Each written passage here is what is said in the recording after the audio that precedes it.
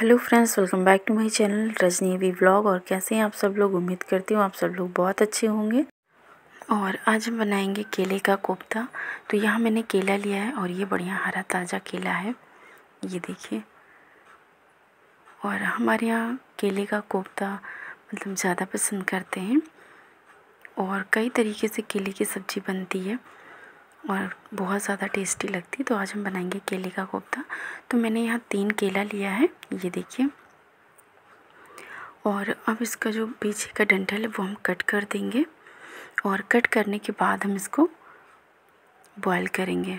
तो जी, ये जो इसका डंठल है, उसको हम कट कर देंगे थोड़ा सा आगे का और पीछे का। दोनों साइड का हम इतने पर से कट कर देंगे यहाँ से, ये देखिए।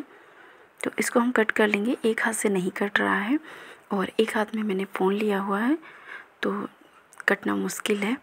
तो हम इसको कट करके फिर आपको दिखाते हैं। एक तो कट गया है और जो ऊपर वाला हिस्सा है, वो नहीं कट पा रहा है।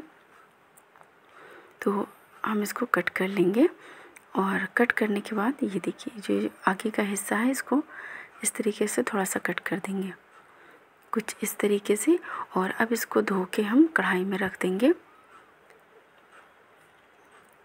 तो यहाँ पे मैंने धो के कढ़ाई में रख दिया है, तीन केले हैं और अब इसको ढक के हम पकाएँगे अच्छे से। और यहाँ पे मैंने लहसुन और प्याज लिया है तो इसको हम पीस लेंगे और पीसने के बाद हम इसमें सारा मसाला मिला दिए हैं। ये देखिए, धनिया पाउडर दो चम्मच, आधी छोटी चम्मच लाल मिर्च पाउडर, आधी छोटी चम्मच गरम मसाला और आधी छोटी चम्मच हल्दी पाउडर। और इन सभी मसालों को हम अच्छे से चम्मच से मिक्स कर लेंगे। और मिक्स करने के बाद इसको हम साइड में रख देंगे। तो मसाला हमारा तैयार हो गया है।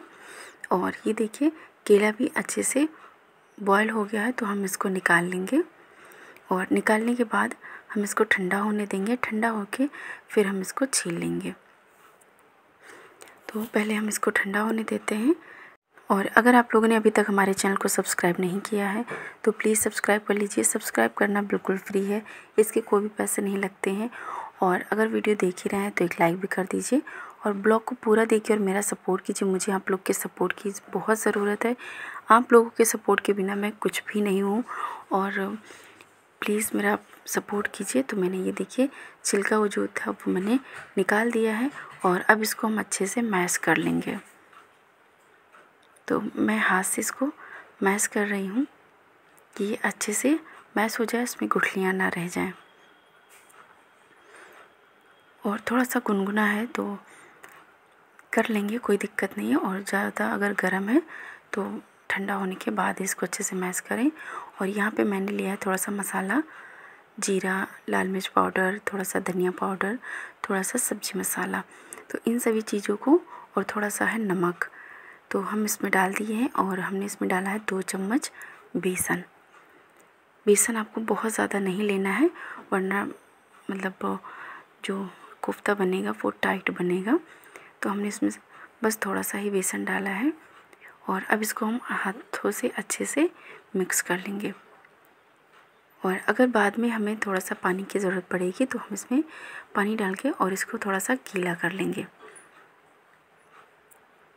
तो इस तरीके से हमने अच्छे से इसको फेंट लिया है गीला गीला और उसके बाद हम इसको बनाएँगे। तो यहाँ मैंने कढ़ाई में ऑयल डाल के रख दिया, ऑयल गर्म हो गया है और कढ़ाई पे ध्यान मत दीजिएगा क्योंकि मैंने उसी कढ़ाई में जिसमें मैंने केले को बॉयल किया था, उसी में तेल डाल के गर्म किया है। तो तेल हमारा गर्म हो गया है और अब हम इसमें पकौड़े की तरह बना लेंगे, जैसे हम पकौड़े बनाते हैं उसी तरीके से। तो हमें उतना डालना है जित, जितना तेल में अच्छे से फ्राई हो जाए।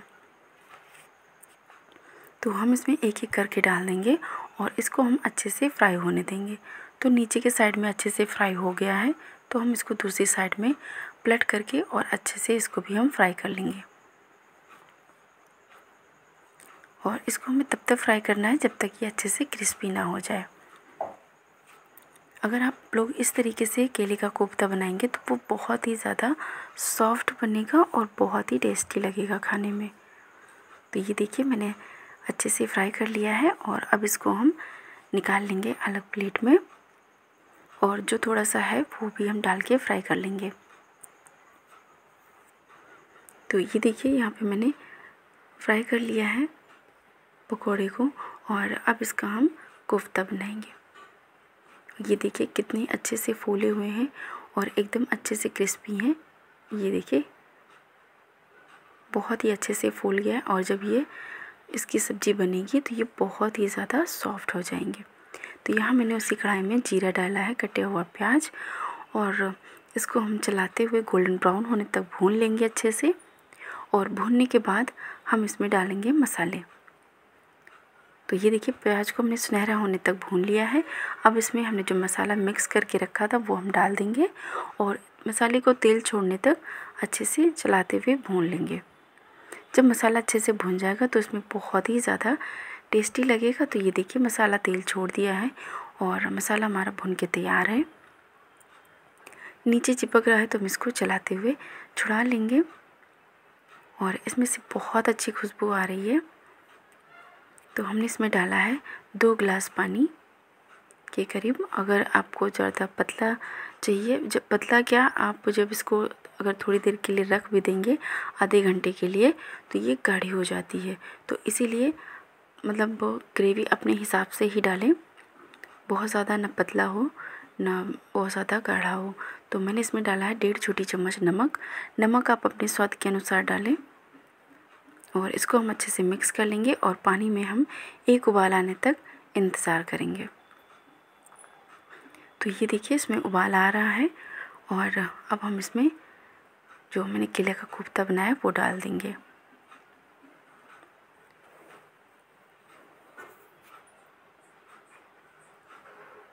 और अब इसको हम अच्छे से पकने देंगे। थोड़ा सा चला देते हैं।